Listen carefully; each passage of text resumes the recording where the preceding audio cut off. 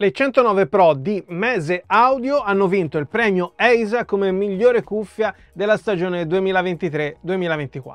Tranquilli, vi spiegherò cosa sono gli EISA Award, anzi ve lo farò spiegare direttamente da un addetto ai lavori che partecipa alla votazione. Ma questo premio lo meritano davvero?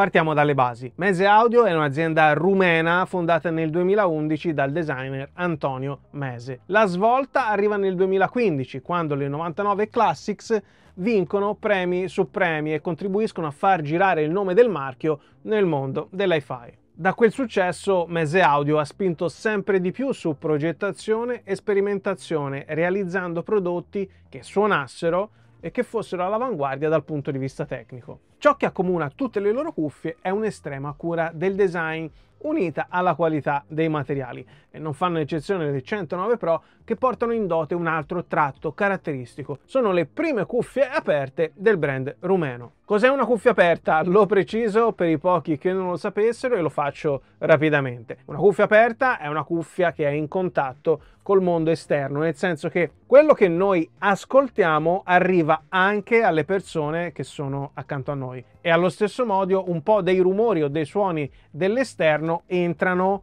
nei padiglioni e quindi in qualche modo riusciamo a percepirli. Per la sua natura, per godere al massimo di una cuffia aperta, è necessario quindi una stanza in cui siamo da soli, che sia un piccolo studio come questo o una sala d'ascolto. D'altro canto, una cuffia chiusa ci isola dal mondo esterno ed è quindi la scelta migliore in ambienti pubblici come mezzi per spostarci oppure sul divano, mentre la nostra dolce metà sta leggendo un libro o sta guardando un posto al sole e noi vogliamo assolutamente ascoltare il nuovo album del nostro artista preferito dopo una giornata di lavoro senza farci disturbare dalle paturnie della soppopera. Su una cuffia aperta avremo pertanto una struttura eh, simile a questa, a grata, dove l'interno è a contatto con l'esterno. Una cuffia chiusa avrà una struttura simile a questa. Notate per caso qui una qualsiasi comunicazione con l'esterno? No, non c'è. E infatti le 99 Classics sono cuffie chiuse. Ok, è tutto molto bello, ma questo come si traduce nella pratica? Anche qui sarò molto spicciolo. Gli amanti, anzi gli ultras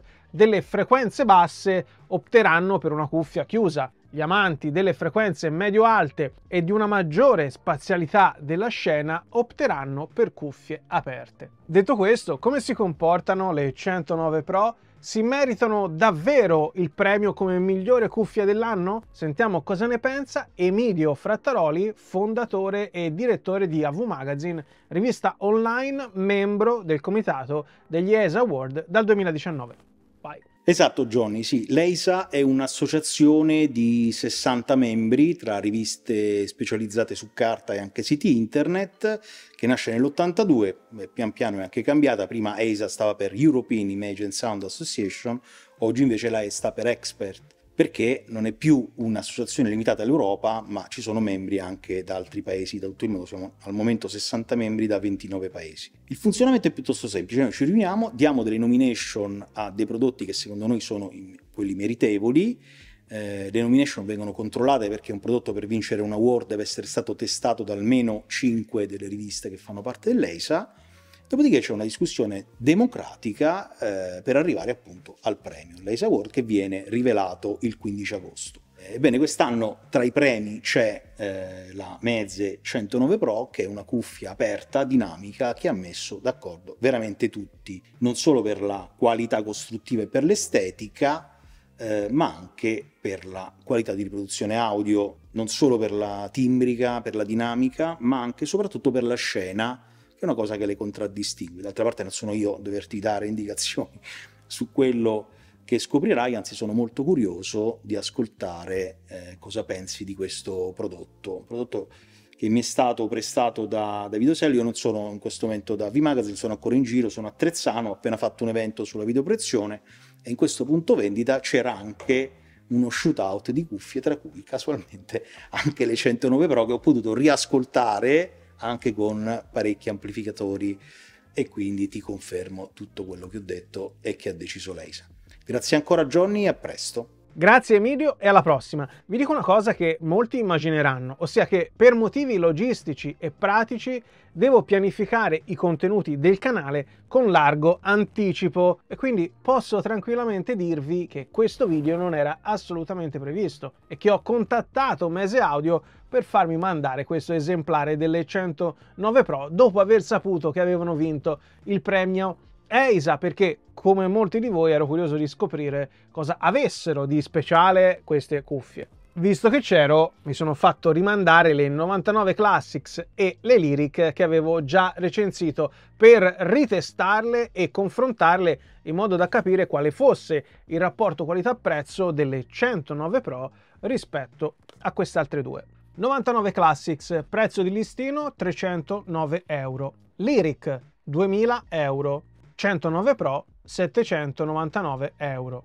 Ovviamente si tratta di cuffie diverse, nella filosofia perché due sono chiuse ed una è aperta e sono diverse anche nel tipo di driver.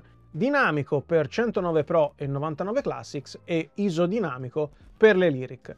Tra l'altro queste 109 Pro, oltre ad essere le prime cuffie aperte di Mese Audio, sono anche le prime che hanno un driver interamente progettato e costruito dall'azienda. Quello che accomuna queste tre cuffie è l'impedenza relativamente bassa, che in teoria ci consente di poterle sfruttare anche col nostro smartphone. Tradotto, suonano ad un volume adeguato, che è vero, eh? ma è anche vero e abbastanza naturale che nella pratica queste cuffie diano il meglio in termini di ricchezza e potenza della scena quando vengono collegate ad amplificatori dedicati. Per un viaggio oppure eh, quando sono in casa, sul divano mi affido all'IP DAC di IFI qui nel mio studio utilizzo un amplificatore per cuffie oppure l'uscita cuffie del mio amplificatore integrato che ha una circuitazione dedicata. Le 109 Pro hanno un packaging importante come da tradizione Mese Audio esteticamente gradevole e ben rifinito e personalmente adoro tutto ciò che ha una chiusura magnetica. Sono un appassionato semplice, il click mi esalta sempre. In dotazione abbiamo un cavo da 1,5 m per l'ascolto in mobilità ed uno da 3 metri per l'ascolto casalingo comodo. Sono identici per fattura, entrambi terminano con jack da 3,5 mm robusti, anti-aggrovigliamento, fanno il loro dovere dal punto di vista sonico, ma avrei aggiunto nella confezione anche un cavo bilanciato, visto il prezzo di listino. Infine abbiamo l'immancabile adattatore da 6,35 mm. Tutti gli accessori sono inseriti in questa borsetta di ecopelle che a sua volta, con la cuffia, è inserita nella classica borsetta rigida di mese. Bella a vedersi e a toccarsi con la cerniera a scomparsa, ma tutto fuorché comoda in mobilità. Questa è una pochette da viaggio da mettere in valigia, non certo da portarsi dietro per una piccola trasferta in treno o un breve eh, spostamento sulla metro, anche perché è giusto ribadirlo, Cuffia aperta e ambienti pubblici? Proprio no. A proposito di comfort, le 109 Pro sono molto comode da indossare e in questo aiutano i padiglioni estremamente ampi, soffici ed avvolgenti grazie al velluto esterno e il memory foam interno, ma soprattutto grazie all'archetto che autoregolandosi distribuisce in modo equilibrato il peso della cuffia sulla nostra testa e quindi sul collo e sulle spalle. Come dico sempre, dopo una mezz'oretta o al massimo dopo un album va fatta una pausa per evitare che le nostre orecchie raggiungano la stessa temperatura di un vulcano in eruzione, ma questo succede con tutte le cuffie over-ear per quanto siano comode. L'impatto estetico è davvero notevole grazie ad una lavorazione pregiata che mette in evidenza quanto i dettagli siano ottimamente rifiniti. E se già le 99 Classics facevano la loro porca figura, queste sono davvero da bavina alla bocca quando si toccano i padiglioni esterni in legno di noce e si osservano quelli interni. Hashtag hi-fi porn. La sensazione è di avere tra le mani un oggetto davvero premium e se vi sembra così banale considerato il costo, ricordiamoci che una Sennheiser HD 650 sembra tutto tranne che premium, visto che la prevalenza è plastica. Eppure siamo su un listino di 499 euro. Giustamente potreste obiettare che vi interessa la sostanza, ossia come suona una cuffia. Una cuffia deve suonare bene e sono con voi al 100%, ma per questo prezzo io voglio anche qualcosa che sia bello da guardare e da toccare, se no col cavolo che tiro fuori 8 pezzi da 100.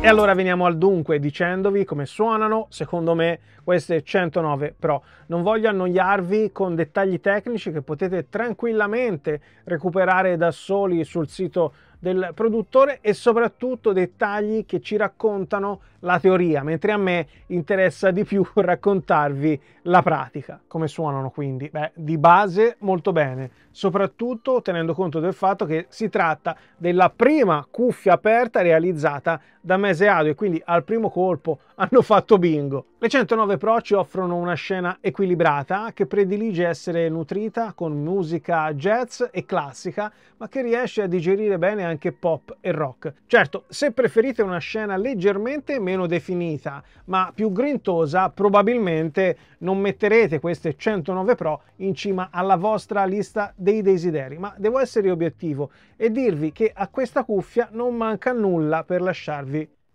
a bocca aperta, soprattutto tenendo conto dei vari competitor nella fascia di prezzo 500-1000 euro, in cui sta questa 109 Pro. Per elaborare il mio giudizio ho ascoltato album che conosco a memoria e che utilizzo sempre come riferimento. C'è anche una new entry nei brani rivelatori ed è Naima di John Coltrane eseguita alla chitarra da Maurizio Bruno. Ho ascoltato questo disco e questa canzone così tante volte nell'ultimo anno da averla in testa anche alcune mattine al mio risveglio. Come si comporta la 109 Pro con questo brano? È musicale, precisa, ma mai troppo algebrica e con questo voglio dire che l'incisione si percepisce come umana.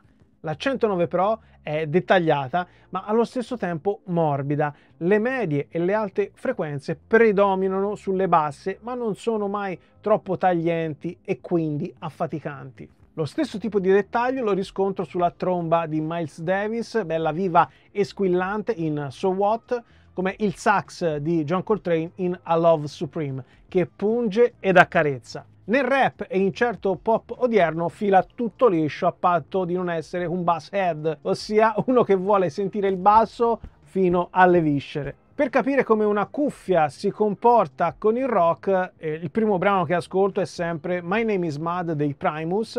Il basso di Les Claypool è talmente protagonista che ti accorgi subito quando non ruba la scena. Con le 109 Pro la protagonista è la dinamica del brano più che il basso e la stessa cosa avviene con Pneuma dei Tool tratto dal loro ultimo album Fear Inoculum. La batteria tentacolare di Danny Carey è sempre riconoscibile ma non sovrasta gli altri strumenti. Dobbiamo però ricordarci che si tratta di una cuffia aperta e quindi è normale, anzi inevitabilmente legato alla sua conformazione fisica, che un po' di vigore si perda nell'aria, ma in fin dei conti neanche troppo. E poi va detto che solitamente questi test vengono effettuati senza equalizzazione in post per capire quale sia l'effettiva natura di una cuffia.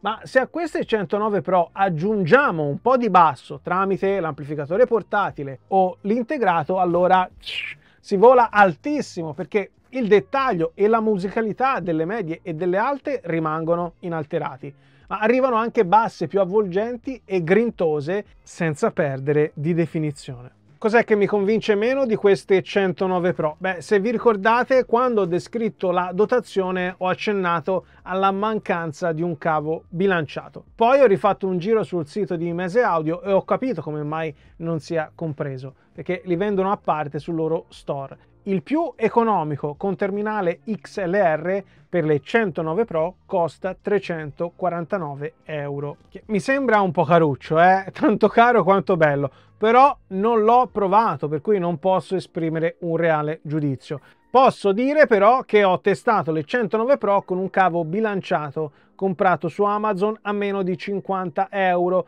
e già con questo si nota la differenza rispetto al cavo sbilanciato in dotazione. Con il cavo bilanciato la scena diventa più aperta e musicale e si percepisce anche un lievissimo miglioramento sulle basse frequenze che diventano più rotonde. Per questo, a maggior ragione, ribadisco il fatto che avrei inserito anche un cavo bilanciato nella confezione delle 109 Pro, magari non premium come quello da 349 euro, ma per una cuffia di questo livello e di questo prezzo è quel plus che è bello trovare già in dotazione e soprattutto è utile ai fini di marketing se sei un brand in ascesa che ha bisogno di conquistare ulteriori fette di mercato. In definitiva le 109 Pro sono cuffie belle da guardare, comode da indossare, super piacevoli da ascoltare. Nella fascia di prezzo che va dai 500 ai 1000 euro sono tra le più definite e musicali che io abbia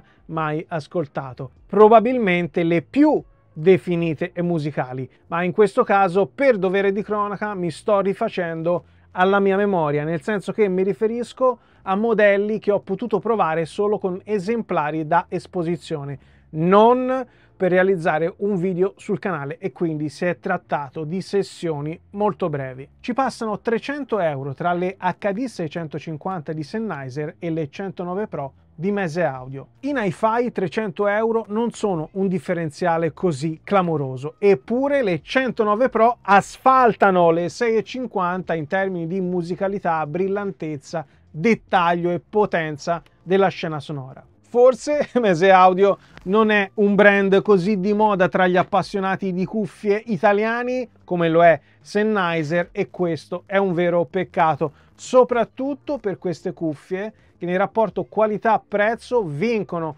a mani basse non solo sulle 99 Classics ma anche sulle Lyric. E per le Lyric stiamo parlando di cuffie con un prezzo di listino di 2000 euro. E insomma per tutti questi motivi non mi meraviglio affatto del premio EISA a queste 109 Pro e anziché dire a chi sono idealmente rivolte si fa prima a dire a chi non sono rivolte. Le 109 Pro non sono pensate per gli appassionati che privilegiano una scena con una predominanza di basse frequenze, quelle che ti arrivano fino in pancia. Però, come già detto, basta agire leggermente sull'equalizzazione e viene fuori molto più carattere. Per tutti gli altri le 109 Pro sapranno dare grandi soddisfazioni, soprattutto con il jazz o comunque in brani con una connotazione acustica o semiacustica. Anche l'album di Irene Buselli, uno dei miei ultimi colpi di fulmine, ne esce impreziosito perché riesce a dettagliare e musicare in modo eccelso la sua voce e la sua chitarra. Dovete assolutamente prenotare una sessione dal vostro negoziante hi-fi di fiducia per guardare, toccare e soprattutto ascoltare cosa siano in grado di fare le 109 Pro di Mese Audio e credo proprio che mi ringrazierete. A presto e buoni ascolti. E si fa finta di ascoltare perché non ci sono i cavi.